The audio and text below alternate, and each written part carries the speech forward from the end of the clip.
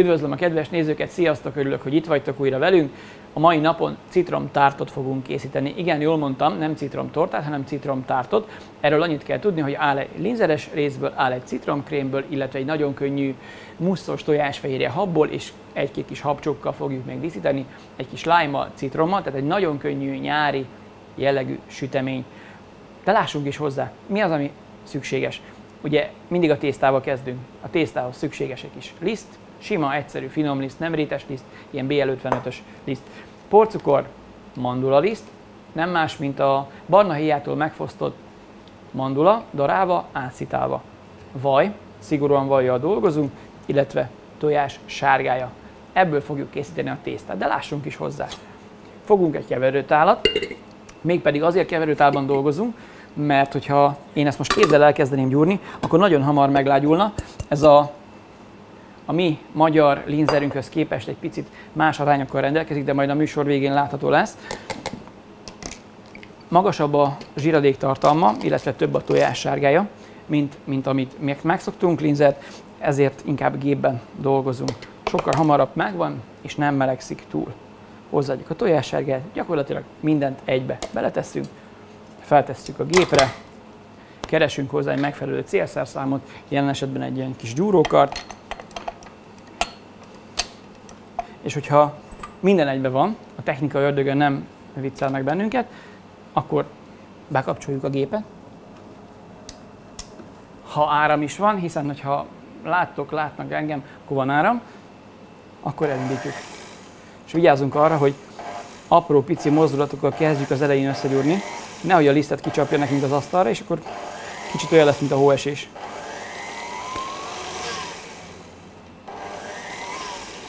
Hagyjuk, hogy egyenletesen eldolgozza a zsíradékot a tojás sárgájával, és szépen lassan fel tudja venni az összes lisztet.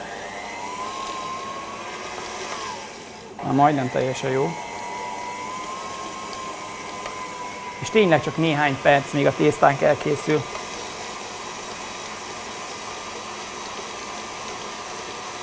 Figyelem, ezt a tésztát nem szabad túlgyúrni, tehát nem szabad túl lágynak lennie, mert hogyha a zsíradék, ilyen esetben a vaj kiengedi a, tehát teljesen meglágyul a kezünk melegétől, akkor nehéz lesz vele dolgozni, megoldható, akkor egy újabb tésztát gyúrunk, és kis hozzáadjuk azt, amit elrontottunk esetleg. De hát ne rontsuk el, figyeljünk arra. Amikor ilyen állapotban van, mutatom, akkor kész van a tésztánk. Kivesszük a gépből, kijöntjük az asztalra. Mindig elolvasom a, a kritikákat, amiket kapok, és próbálok ilyenkor válaszolni rá. Azt hiszem, hogy a pogácsát csináltam a múltkor, és megkérdezték tőlem, hogy deszkára nem futotta. Hát kérem szépen, futja deszkára is, de igazán márványasztalon dolgozni sokkal, de sokkal könnyebb, hiszen ez hideg. Főleg egy ilyen magas zsírtartalmú, de ugye a pogácsa is az volt a tepertős, tészta esetén. Úgyhogy semmilyen szükség nincs nyújtott deszkára. Ha az van otthon, akkor lehet azzal is dolgozni, abszolút nem probléma, de én márványasztalon dolgozom. Fogjuk a tésztát, folpakba becsomagoljuk, beteszik a hűtőszekrénybe, amíg a tésztán kül, ez körülbelül egy másfél óra, addig elkészítjük a krémet. Amíg a tésztánk a hűtőszekrényben pihen, elkészítjük a citromkrémet, amihez szükségünk lesz tojássárgájára, három darab citrom levére, ez 80 g, de mondom a végén lehet majd látni, három darab citrom héjára, egy kevés zselatinra, hideg vízre, és hogy ezt mondom, már, már össze is öntöm, hiszen a zselatin akkor tökéletes, hogyha kicsit hagyjuk ázni, hagy duzzadjon, és természetesen cukorra. Na most ez a krém, ez egy ilyen citrom szerű és ahhoz, hogy nekünk egy jó textúrát, egy állagot kapjunk, szükségünk lesz némi vajra, ez fogja adni a krémünk tartását, de nem lesz túl vajas, tehát nem kell attól félni, hogy ez egy citromos vajkrém, abszolút nem az. Ez inkább ilyen pudingszerű. De lássunk hozzá. A citromlé egy részét beleöntöm egy lábasba, a másik részét bele egy keverőedénybe, amelyiket a lábasra tettem hozzá a citromhéját. Ahogy az egyik szakács kollégám mondta mindig persze hibásan, hogy gyerekek, melyik a legsavanyúbb madár? És mindenki jelentkezett, hogy és azt mondta a tanár, hogy citromhéja, de hát nyilván a citromhéja az ugye nem savanyú, hanem a leve. De ebbe akkor senki nem gondolt bele. Tehát a cukor felét hozzáadjuk a citromléhez, és elkezdjük forralni. A cukor másik felét a citromlé másik felével. Tegye fel a kezét, aki nem érti, mert bonyolult. Nem látok kezeket, akkor folytatjuk. Tehát lényeg, cukor, kis citromlé, tojás sárgája, ezt kikeverjük. És összepakolunk közbe, hogy ne legyen itt rendetlenség. Hopp, a zselatin majdnem kidobtam. Tehát megkeverjük. Figyelünk arra, hogy a cukor a citromlében feloldódjon.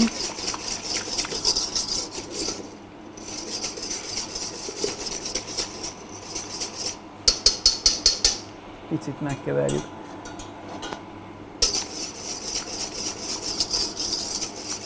A tojássárgát a citromlével és a cukor felével kikevertük, a maradék citromlét, a citromhéját és a cukrot felforraltuk, és ezt a forró szirupot ráöntjük a tojássárgályás részre, mégpedig egy szűrőn keresztül, hiszen a citromhéjra nekünk itt most nem lesz szükségünk egyáltalán, tehát ne legyen benne darabos, és ugye a citrommag is, hogyha belekerül, akkor ez itt nagyon jól el lehet távolítani.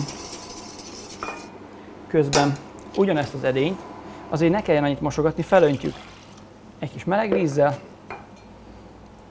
alágyújtunk az indukcióson, ha gáz van, akkor a gázon, de reméljük nem lesz gáz, és egészen egyszerűen gőz felett 85 fokra hevítjük a citromkrémünket. Ha elértük a 85 fokot, levesszük, megvárjuk még 70 fokra visszahűl, beladjuk a zselatint, 40 foknál pedig a vajat. És hagyjuk hűlni. Ennyi az egész. A krémet, citromkrémet levettük a tűzről, hagytuk egy picit hűlni, most ért el azt az állagot, hogy hozzáadjuk a zselatint,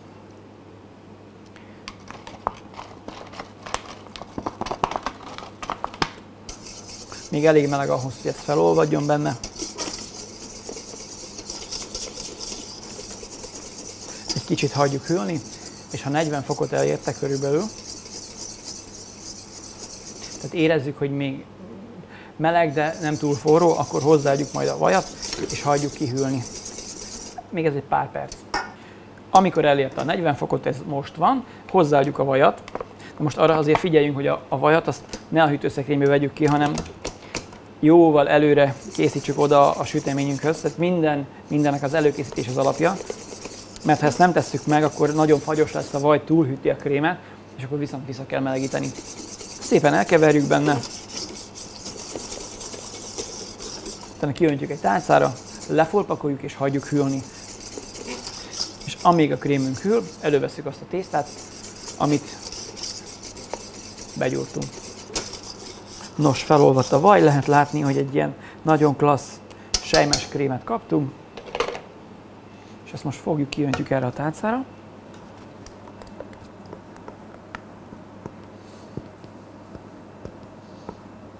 Tehát fogunk egy kisebb tekercsfóliát, tehát egy ilyen mondjuk, hogy háztartási folpakot, majdnem ugyanaz, és úgy takarjuk le a krémet, hogy ne legyenek alatta levegő buborékok nagy részt, mert hogyha nem sikerül kiűzni alóla, akkor ott picit meg fog bőrösödni, és akkor nehéz lesz kikeverni. Fogjuk a krémünket, behelyezzük a hűtőszekrénybe, és előveszünk közben a tésztát. Kedves nézőink, a tésztánk kihűlt, ugye elcsomagoltuk, közben annyi történt, hogy két darab zsírpapír közt kinyújtottuk egy centiméter vastagra, és kiszurkáltuk. Tehát ezek lesznek a kis tárt formáink, na ennél nagyobbra, tehát ennél egyen nagyobb kiszúróval, és visszaraktuk a hűtőszekrénybe. Ugye ez egy nagyon gyorsan lágyuló tészta, lehet látni, hogy ez elég hamar elkezd bepuhulni, tehát mutatom, ennél egy picit nagyobbnak kell lennie. És a módszer a következő, fogjuk a kis linzerünket, és szépen elkezdjük forgatva beleigazítani a formánkba.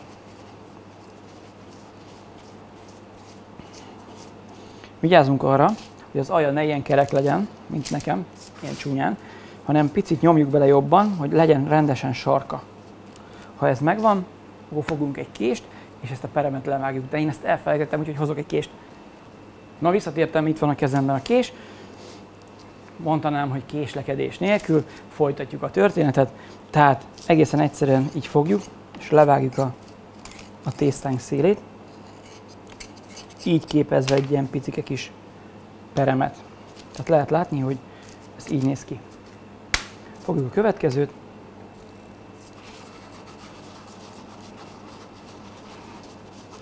És beleigazítjuk a formánkba.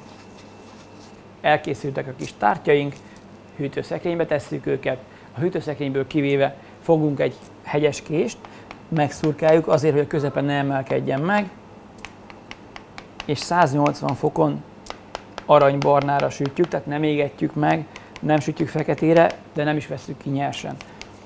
A lényeg a lényeg, hogy mindig hideg tésztával dolgozunk, tehát hűtőszekrényből az előmelegített sütőbe betesszük, és megsütjük.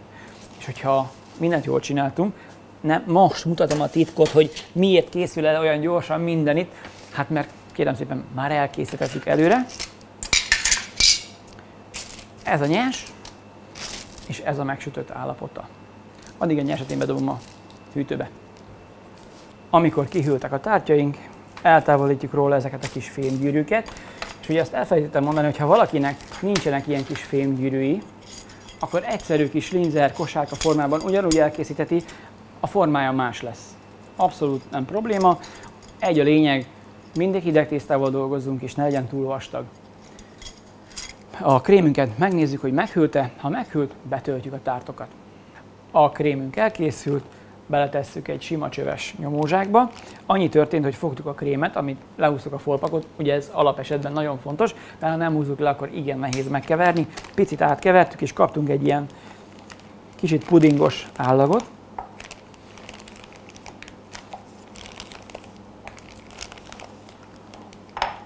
És ugye most mindenki azt hiszi, hogy az következik, pedig nem. Hanem, ugye, hogy nem. Mondom, a lényeg, kis talpakra fogjuk tenni a kis tártyainkat. Ugye egy talpon mi történik a tártal?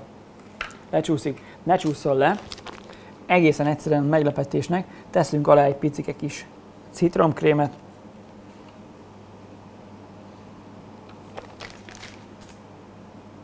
és így rá tudjuk tapasztani. Ennyi az egész. És még egy dolog van, ami miatt is én visszaveszem ezt, és nem azért, mert elfelejtettem, hanem csak megmutattam, hogy hogyan marad ezen a talpon rajta. Olvasztottunk egy leheletnyi kakaóvajat. Na most a kakaóvajjal egy picit bekenjük a tártunk belsejét, de éppen csak annyira, hogy egy ilyen vékony kis filmréteget képezze rajta. Igen, és hallom, a kérdés a következő, ez miért kell? Azért kell, mert ugye a krémnek igen magas a nedvesség tartalma, és hogyha most ezt belenyomjuk, akkor körülbelül egy óra múlva ez a linzer ez át fog ázni, és ezt nem szabad megengedni, mert ugye ha ezt a süteményt elkészítjük, akkor ennek még másnap is tökéletesnek kell lennie. A linzernek ropogósnak, nem ázottnak. Ha valakinek nincs otthon kakaóvaj, mert hát miért lenne, akkor egészen egyszerűen egy kis olvasztott fehér csokoládéval hajszálvékonyan ugyanígy kikenheti a kosárkákat. Ha teljesen véletlenül fehér csokia sincs, akkor, akkor lehet egyébként, lehet tejcsokoládéval is, az csak van otthon. Na de ha az sincs, akkor szerintem már kezdjen másfajta süteményt sütni, mondjuk piskódó tekercset.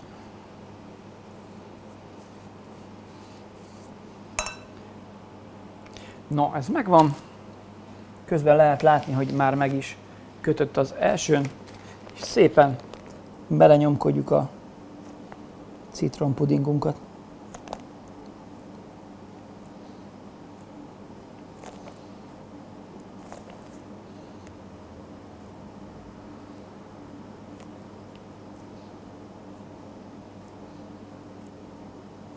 Én most kis pöttyöket teszek, de egyébként lehet ilyen egészen egyszerűen én körkörösen is belenyomni, lehet késsel is belekenni, ha valaki nem szeretné habzsákkal, mert azt mondja, hogy ő picit kevesebb tölteléket szeretne beletenni, vagy azt is lehet, hogy a közepébe egy kis kevesebb tölteléket, és mondjuk málnával kirakjuk, akkor nyilván nem citromos tártnak hívjuk, hanem citromos málnás tártnak.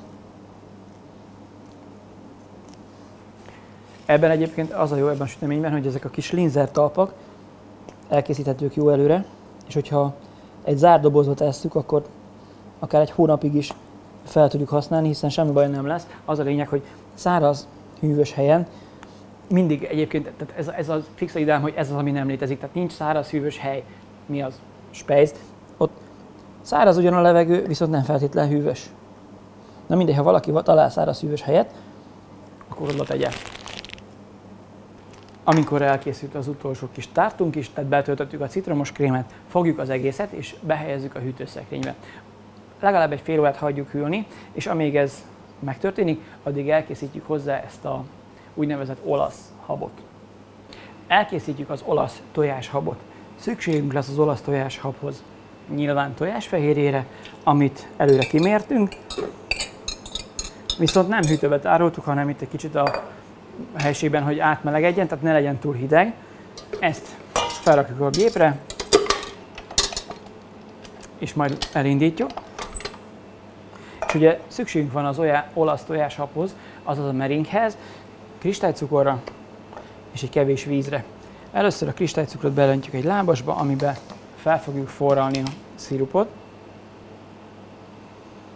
Elöntjük a vizet, megvárjuk még kicsit így ellepi. Na most ugye van egy recept, általában nagyon sok könyv írja azt, hogy amennyi ellepi. Hát de az mennyi? Hát hogyha elöntöm, az is ellepi, de ezt nem öntöm tele, hanem mutatom. Ha a kamera picit közelebb jön, akkor gyönyörűen lehet látni, hogy olyan, mintha nem lepni el, de ha várunk egy fél percet, akkor szépen ellepi. Na most ez jelenti azt, hogy amennyi ellepi. Egyébként, hogyha picit több vizet öntünk rá, nem jelent problémát, csak tovább kell forralni. Tehát ugye, hogy minél tovább forraljuk, annál több pára keletkezik, alacsonyabb lesz a víztartalom. De figyeljünk arra, ha pontosan mérünk, annyi vizet teszünk rá, amennyi a receptben itt a végén szerepel, akkor biztosan jó lesz az eredményünk. Fogjuk az indukciós főzőlapra, feltesszük, hagyj melegedjen, 119 fokra fogjuk befőzni a cukrot.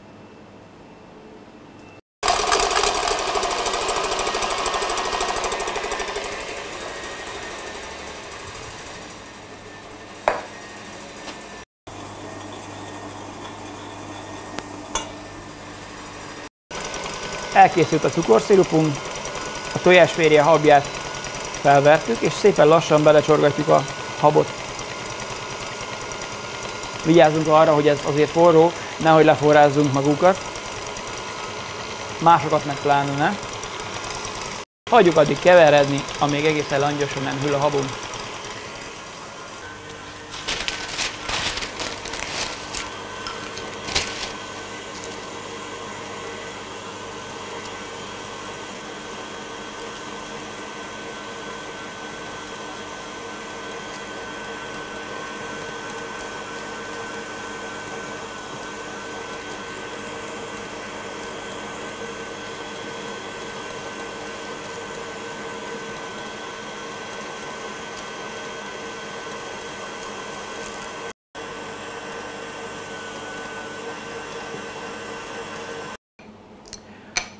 A citromot előkészítettük, a lime-ot kicsit meghámoztuk, lehúztuk a héját, ez dekorációs cél fog szolgálni, illetve egy kis ízesítés, pluszban a süteményre. A habunk elkészült. Hát ez most így néz ki. Tehát lehet látni, hogy egy jó, masszív tojásfehérje habot kaptunk, és ugye mondtam, hogy nem szabad verni a tojásfehérje habját, hogy nehogy összesen, de most ez nem fog, hiszen ez egy olasz mering, tehát itt azért már nem a levegő mennyisége dominál, persze az is, hanem inkább a cukor szirup, amit ráöntöttünk, és addig kevertettük a géppel, amíg egészen langyosan nem hűlt. Betesszük egy nyomózsákba,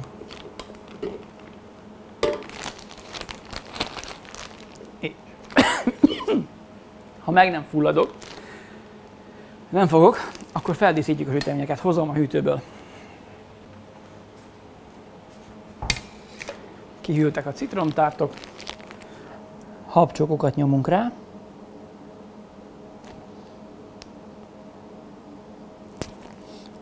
Az oldalára is ilyen egész piciket.